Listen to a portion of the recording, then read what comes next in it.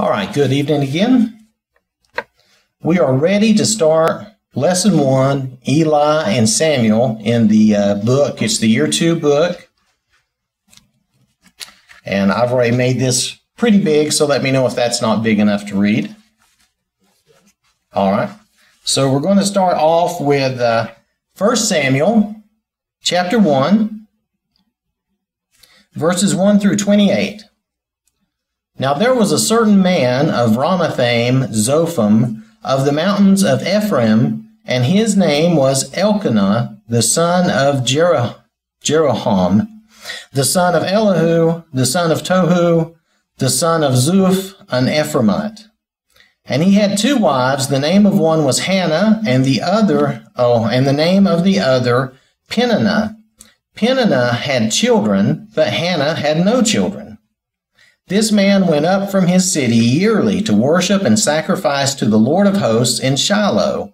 Also, the two sons of Eli, Hophni and Phinehas, the priests of the Lord, were there. And whenever the time came for Elkanah to make an offering, he would give portions to Peninnah, his wife, and to all her sons and daughters.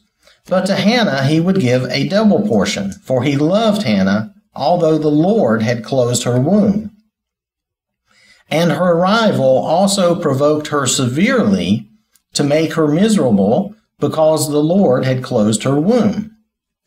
So it was, year by year, when she went up to the house of the Lord, that she provoked her. Therefore she wept and did not eat. Then Elkanah, her husband, said to her, Hannah, why do you weep? Why do you not eat? And why is your heart grieved? Am I not better to you than ten sons?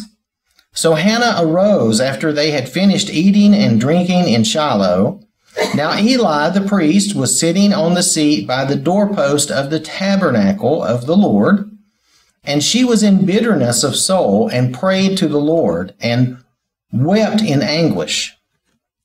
Then she made a vow and said, O Lord of hosts, if you will indeed look on the affliction of your maidservant and remember me and not forget your maidservant, but will give your maidservant a male child, then I will give him to the Lord all the days of his life, and no razor shall come to his he- come upon his head.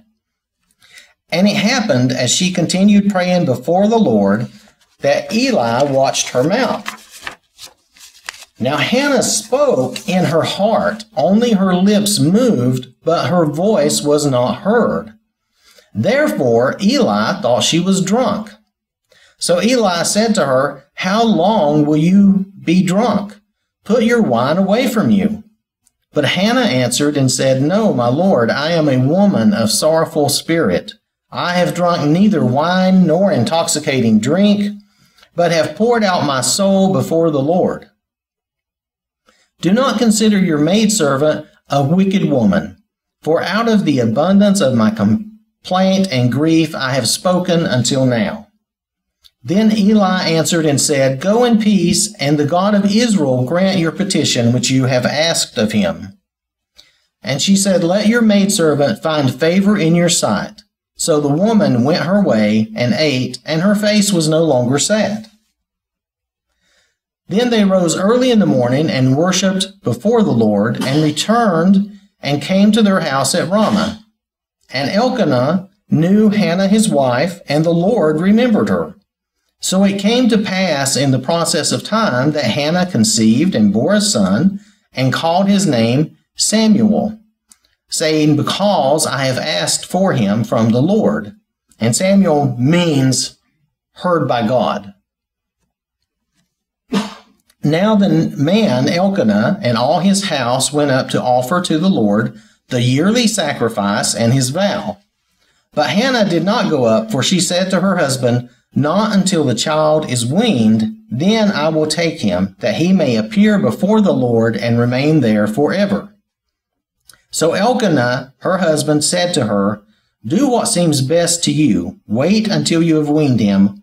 Only let the Lord establish his word. Now, some translations say, Let the Lord confirm your word, meaning that making sure that she keeps her promise is basically the idea. Just make sure you keep your, your word. Then the woman stayed and nursed her son until she had weaned him. Now, when she had weaned him, she took him up with her with a, okay, with, now here's where mine says three bulls and another one says one three year old bull, which I think is actually correct because then they sacrificed one bull. But it's okay. Either way, she took a sacrifice with her, which was the bull, one ephah of a flour, and a skin, uh, I'm sorry, flour, not flour, I guess. I say flour. And a skin of wine, and brought him to the house of the Lord in Shiloh, and the child was young. Then they slaughtered a bull and brought the child to Eli. And she said, O my Lord, as your soul lives, my Lord, I am the woman who stood by you here praying to the Lord. For this child I prayed, and the Lord has granted me my petition which I asked of him. Therefore I also have lent him to the Lord. As long as he lives, he shall be lent to the Lord. So they worshiped the Lord there. Now, where she says lent, other things say granted or given or you know, that kind of thing, dedicated to the Lord, because that was her that was her agreement when she prayed and asked for a son. So, going all the way back to the beginning, the first question, number one, even though in a civil sense he was an Ephraimite, they listed that back in, in verse 1, of what tribe was Elkanah and his son Samuel by birth and descent? And I do have the the Chronicles verses if if we want to look at those. Does anybody remember right off though? Okay. So the Chronicles verses back in chapter 6, and I did verses 33 through 38 because I think that pretty much tells you. Um, they're listing, well, I'll just tell you, and these are the ones who ministered with their sons of the sons of the Kohathites, or Kohat, no, Kohathites, Kohathites were Heman the singer, and now it's going to give his ancestry, which is the son of Joel, the son of Samuel, the son of Elkanah, and then we're going to go through some more son ofs, and I'm going to kind of bypass that and go down to the son of Levi, the son of Israel. So they were Levites. They were in the tribe of Levi. They were descended from Kohath that's that's the name of uh, the son of Levi. Okay. Makes sense because uh, he went to help Eli, who was a priest, and he had to be from the tribe of Levi to help him. It does make sense for because he had he needed to be a priest, didn't he? To be, I mean, he needed to be a Levite to be one of the priests, correct? So yeah, that does make sense. Okay. So number two, describe Elkanah's family. Yeah, just describe Elkanah's family, I guess. What would you say? He had two wives. He was a guy with two wives and children from one wife and none from the other, right? Okay. So then we get to the, the probably the more important thing. How is this passage a demonstration of the evil consequences of polygamy? So how would you say this caused problems or well we see where Hannah was barren and the other lady wasn't and she held it over her it made her feel really bad right it did cause contention or strife between the two made me think of abraham and sarah and Hagar. Yep if you go back to them and if she had a son and sarah was not able to conceive for a while and that's why she gave Hagar to him and didn't Isaac have the same problem with his wives, where he had two wives, and and one one was fruitful right off, and the other wasn't, and that was, huh? So Isaac didn't have that issue. He had Rebecca. Jacob had Leah. Jacob had Leah and Rachel. Yeah, I, I mean, what I'm getting at is, didn't this problem every time you had somebody with multiple wives, didn't these same problems keep occurring? Is what I was getting at. Leah had children before Rachel did. And, right. And then there's some Drake's like swans things story about that. I, I kind of get lost in this shuffle. Well, I, I was just yeah, because every it seems like every time we see polygamy, um, one wife is mean to the other. One wife seems to think they have it over the other.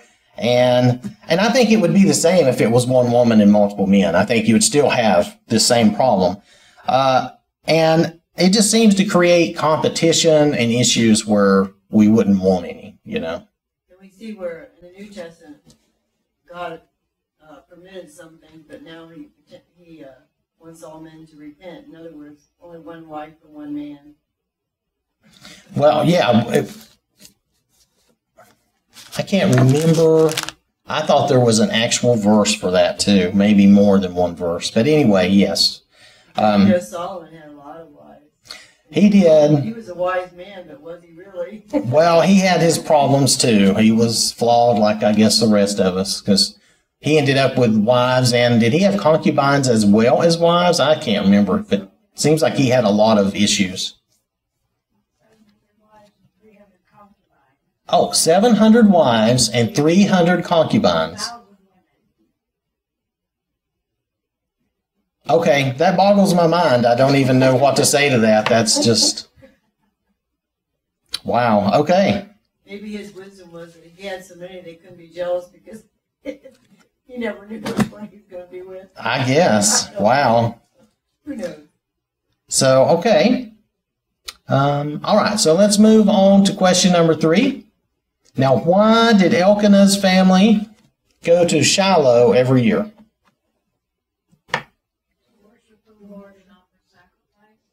To worship the Lord and offer sacrifice. If we if we look up the uh, verses mentioned here, basically, um, I'll do the short one. Exodus thirty four twenty three. Three times in the year, all your men shall appear before the Lord, the Lord God of Israel. And then the second um, reference they have there, Deuteronomy 16 16. Um, they shall not appear. I'm reading this the last of it. It basically says the same thing. Three, three times a year, all your males shall appear before the Lord your God in the place which he chooses. And it mentions the feast of unleavened bread, the feast of weeks, at the feast of tabernacles, and they shall not appear before the Lord empty handed. So they were going to make sacrifice to the Lord. And this was where the tabernacle was according to the verse we read earlier. Yeah, the temple hadn't been built yet. Yeah, the temple had not been built, and I guess the tabernacle was at Shiloh at this time. So, okay.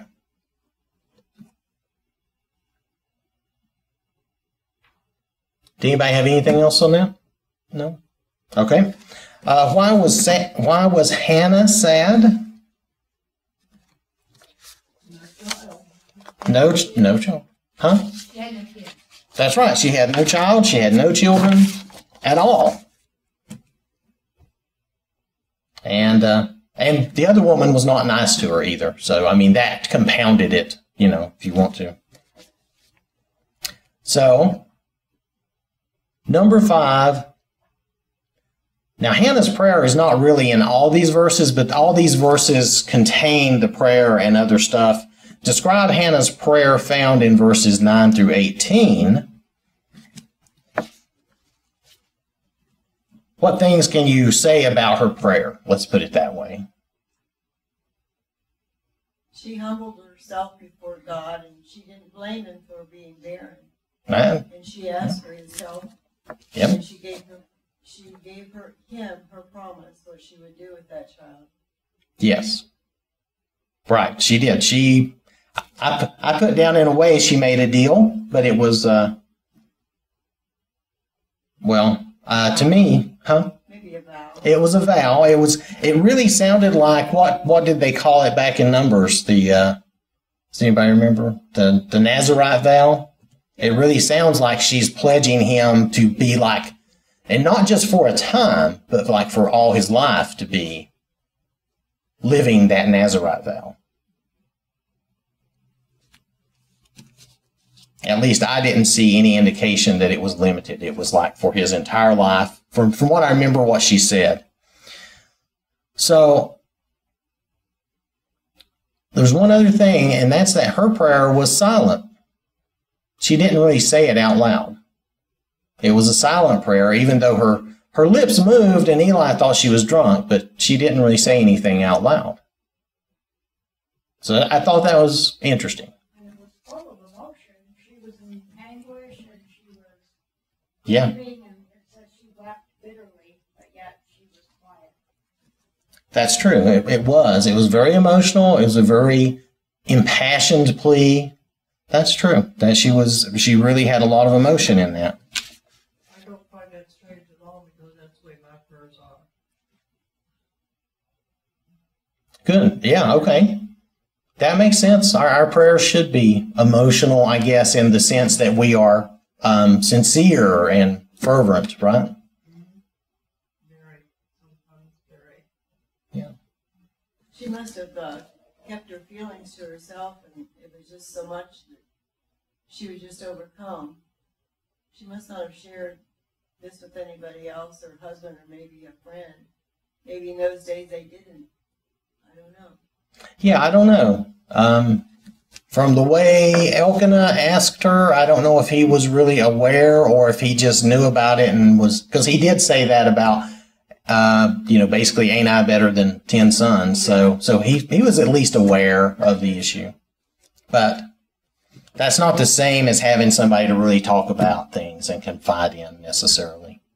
So. it's good because uh, it gives us the uh, feeling that we can go to God in prayer too and ask for things. And and that, that is the case. That is good. Because we can go to God in prayer and let Him know what's on our hearts. I don't know, a silent, a silent prayer, you're not, you're not worrying about words, you're, it's, it's direct. Right. Yeah. It, it would be. Yes. Okay. So, let's see. So, how was her prayer answered? Well, the Lord remembered her and she had a child. Right. The Lord remembered her, and she had a child. She had a son, and named him Samuel. Now, let's see. Uh, question number six What was Hannah's vow? I may have already talked about that, I guess, a little bit. Sorry. But um, basically, she had said that he would be dedicated to the Lord, right? And that it was a he would be separated wholly for the Lord, and that no razor would touch his head. In other words, his his head would not be shaved or his hair would not be cut. If we look at Numbers uh, chapter six, verses one through five, that's where the Nazarite. This is basically a little short summary of the Nazarite vow. There's a lot more you can read about it. But then the Lord spoke to Moses, saying, Speak to the children of Israel and say to them, When either a man or woman consecrates an offering to take the vow of a Nazarite to separate himself to the Lord, he shall separate himself from wine and similar drink. He shall drink neither vinegar made from wine, nor vinegar made from similar drink, neither shall he drink any grape juice, nor eat fresh grapes or raisins. All the days of his separation he shall eat nothing that is produced by the grape grapevine from seed to skin. All the days of the vow of his separation no razor will come upon his head until the days are fulfilled for which he separated himself to the Lord. He shall be holy. Then he shall let the locks of the hair of his head grow.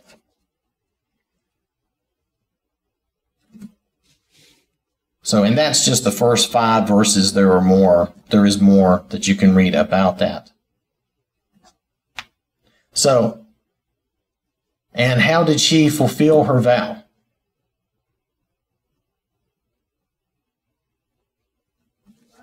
Shiloh, the tabernacle, the Eli presented him.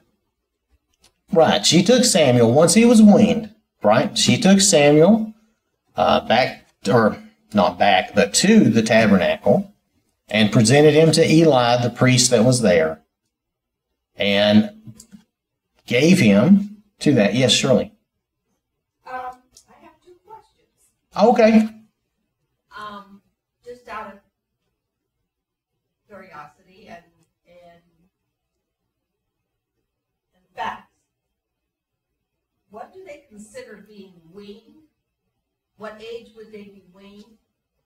And also, when Samuel was taken back to the temple, who took care of him? Who would be in charge of him? Well, because I think that she left him there. That's Yes. how I'm reading it, that she no longer had contact with him. She dedicated his, she dedicated him to the Lord. I'm not sure of how long they took to wean back then. Do you have something, Judy? I, I was just going to uh, say that today it's more likely to be one or two years old, but it used to be like like a long time. It, it he may well have been at least five. Oh, okay. Yes. Because Oh, go ahead. One thing, it was part of a uh, way of not getting pregnant to go ahead and, and nurse your child.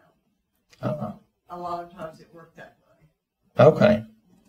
If we Yes. go back to uh, Isaac, uh, Sarah weaned him, and Abraham had a weaning party, and we see that um, Ishmael, Hagar's child, made fun of um, Isaac, and I, I believe it says he was three. Okay, They so the weaning party, and Ishmael was making fun of the boy. so at okay, so at Isaac's weaning party he was three. So most likely, I mean, if we figure they followed certain traditions, like Judy is saying, three or maybe even a little older, we're not sure. Yes. We also see that Moses was kept with his mother because, you know, the sister Miriam found him and Mhm. you know the story. Yes. And so then she weaned him and then she gave him back. So he might have been about the same age. Right. Okay. Yeah, I'm not. I'm not sure of what Moses' age was, so that's something. Yeah. All right. So it sounds like he would have been at least three, probably, and that that I was leaning towards two or three, but it, you would think he would need to be old enough to get around a little bit, but I, Eli would have been being the head priest. At least they, the way this reads, Eli at that time was the what do they call it? The chief priest or the high priest? I'm sorry, the high priest. And uh, he would have been ultimately in charge, but I'm sure he would have handed the child off to someone else on a, you know, for a regular daily basis for somebody to watch after him. But I, it doesn't say clearly. Yes, Shirley. Am I, am I correct then in thinking that Hannah actually turned this child over to Eli and she no longer had any, she was no longer the mother of him? I don't What- know how I want to put it, but she had no contact with him at all. Oh, well, It seems like that is such a young age to leave a child somewhere in someone else's hands. Um, I'm not disputing it. I'm just trying to understand it. right, right. When if we I'm not disputing this at all. right, I, I'm just trying to understand what went what went on in those days. it doesn't suit what we would do. I know. If you read on though, she does go back, and we know for certain that she goes back and sees him at times. She From- makes a coat for him every year. She like she updates his robe every year because he's growing. So she's giving him a, a newer or bigger, however you want to think of it, robe every year. From the way it reads. He must have really cherished that too. But other than that, yeah, he was dedicated to the Lord's service. So I mean and it does talk about him growing up, uh, maturing. Not not in a great deal, but it does mention it some that he's you know maturing and growing. And it's it's because of the vow she made. I mean, if she hadn't made that vow, that wouldn't even been. But she made that vow, and once you made a vow to the Lord back then, you you really had to keep it. I mean, now we get all wishy washy and just By, uh, eighteen, two eighteen, it starts telling about the mother bringing clothes. Where are you at? chapter two, verse uh, eighteen. Uh, if you look at 18 and, and I guess 19, Samuel ministered before the Lord even as a child, wearing a linen ephod. Moreover, his mother used to make him a little robe and bring it to him year by year when she came up with her husband to offer the yearly sacrifice. It does not really say that she saw him more than once a year. It's possible she did. It's possible that she didn't. They I don't. They went three times a year though. The guy, yeah, the guys had to go three times a year, so she would have had at least three opportunities. Yes. I wonder in verse uh, 20 if that is implying that the Lord blessed Hannah with more children. Yeah, as you read on, she did have more. She did have more children. I think even in the net, yeah, in verse twenty-one, uh, the Lord visited Hannah so that she conceived and bore three sons and two daughters. So she had more children after that. Yeah.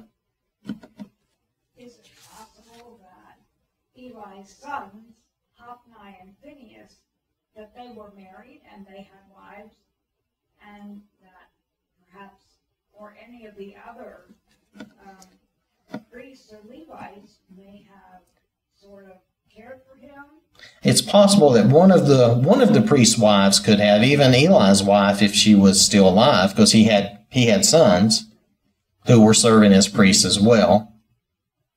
So it's quite possible that one of the women there, one of their wives, took care of the child.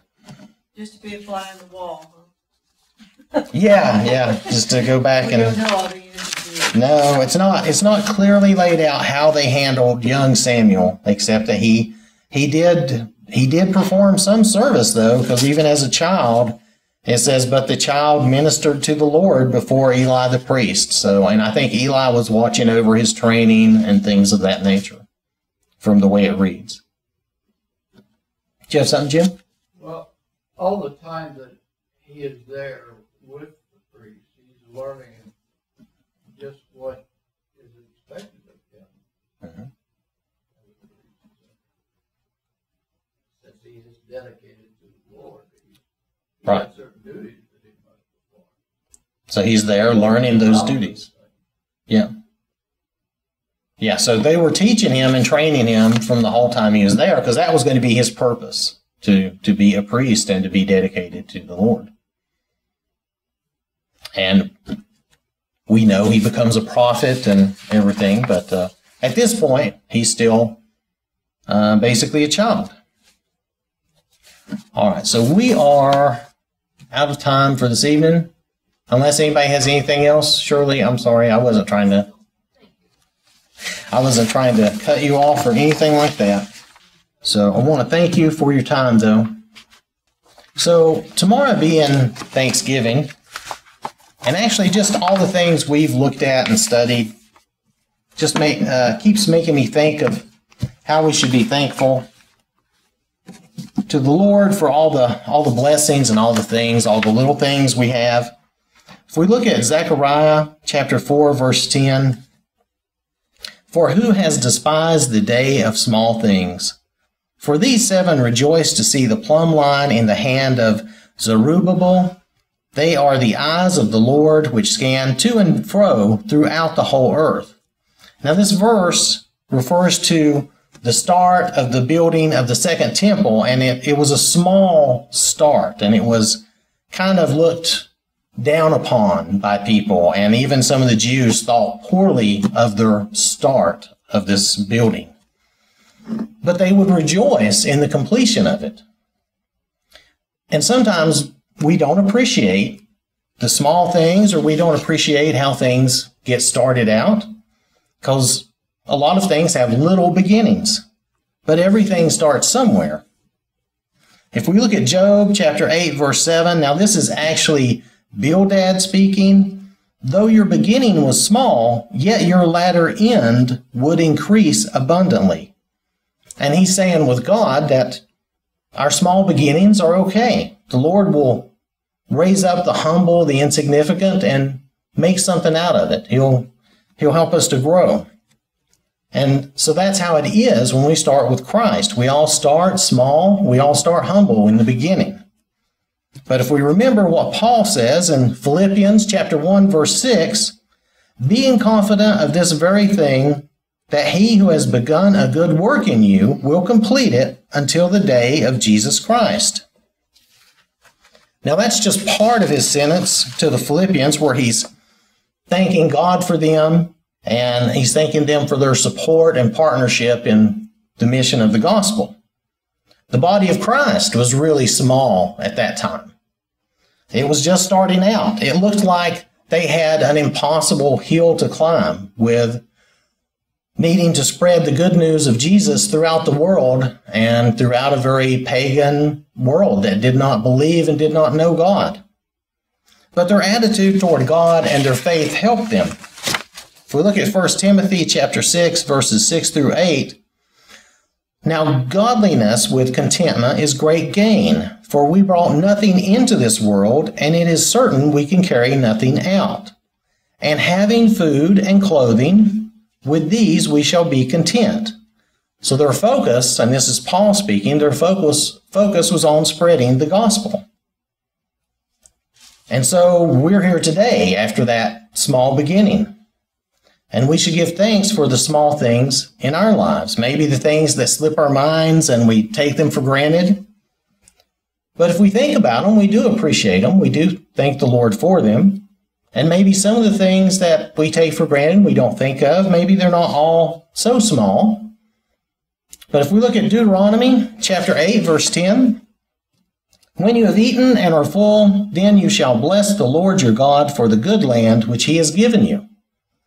That's especially ap- applicable to tomorrow, to Thanksgiving. You know, some of us will be eating and getting full and passing out on the couch. So that's, you know, we should thank God for that. Isaiah chapter 38, verses 18 and 19. For Sheol cannot thank you, death cannot praise you. Those who go down to the pit cannot hope for your truth.